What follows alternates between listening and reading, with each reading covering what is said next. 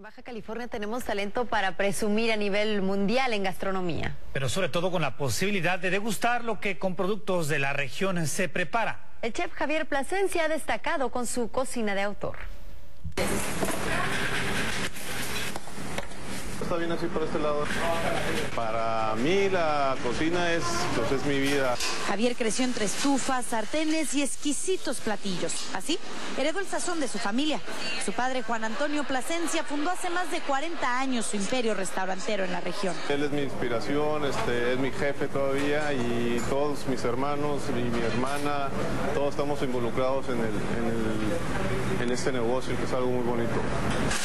Estudió en San Diego y recorrió desde los pequeños pueblos de la Riviera Mexicana hasta los restaurantes más reconocidos del mundo. Todo lo que vivo, mis experiencias, lo que veo, lo que pruebo, el mercado, todo lo aplico aquí y eso es lo que soy.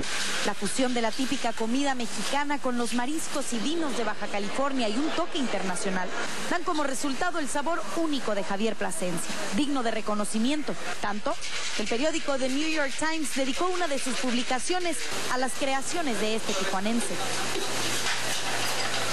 Siento mucho orgullo de ser de Tijuana y vivo aquí, toda la familia y la verdad sí se siente muy, muy bonito.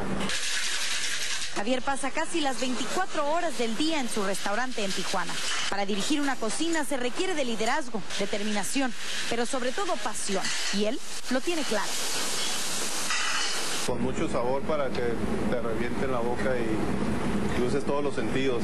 El valor de la familia encabeza su lista de prioridades, pero sus sueños están puestos en la cocina. Y su meta, en el Valle de Guadalupe. Quiere establecer un pequeño restaurante ahí, donde emana el sazón baja californiano. Javier Plasencia, un chef con sabor a Tijuana. Para Notiriza, Luis Ramírez y Shadia Hueve.